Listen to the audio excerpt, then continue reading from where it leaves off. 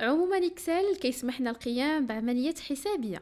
هاد العمليات يمكن تكون عمليات حسابية بسيطة مثلا الجمع الطرح قسمة أو غيرها أو لا عمليات حسابية معقدة مثل حسابات مالية هندسية إحصائية وغيرها اذا في ال Excel كنوليو كنتداولوا كلمة fonction هاد les fonctions اللي كيقدم لنا ال Excel هي عبارة عن صيغ رياضية اللي كنستعملوا للقيام بحسابات معقدة.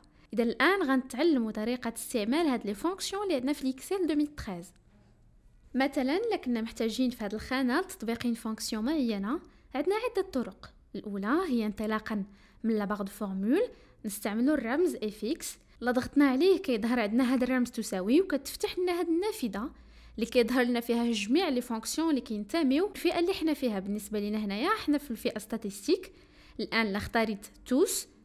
كيظهر عندي جميع les fonctions اللي عندنا في Excel 2013 لا اختاريت الآن finances فكيظهروا عندي جميع les fonctions اللي كينتميو لفئة finances الآن مثلا لا اختارينا date heure واختارينا une fonction ملي كنضغطوا عليها كيظهر لنا هنا لتحت وظيفة اولا دور هاد la fonction اذا هذا الوصف كيعطينا صورة تقريبية على الهدف من استعمال كل fonction كنختارو. اذا مثلا لا اختاريت la fonction maintenant وضغطت على زر OK اولا كنضغط عليها مرتين. فهاد اللحظة كتظهر عندي هنايا la fonction وكتفتح لنا نافذة arguments de la fonction اللي كيطلب منا فيها Excel. نحددوا المعطيات اللي غنستعملو. مثلا لما كان عندي حتى معطى يكفي نضغط على OK وكتظهر عندنا هنايا النتيجة. لا خدينا مثلا fonction أخرى دائما بالضغط على fx والآن نختاروا la fonction moyenne وهنا عندنا تقديم لدور هاد la fonction. نضغط على زر OK. وهنا خاصنا ندخلو معطيات اللي بغينا نحصلوا على la moyenne ديالهم. هاد المعطيات يا إما نكتبهم مباشرة هنايا مثلا بغينا نحسبوا la moyenne انطلاقا من B 1 حتى ل B 12 وهنا عندنا مباشرة النتيجة ديال حساب la moyenne واللي هي صفر بحكم هاد الخانات اللي عندنا ما عندنا فيهم حتى قيمة.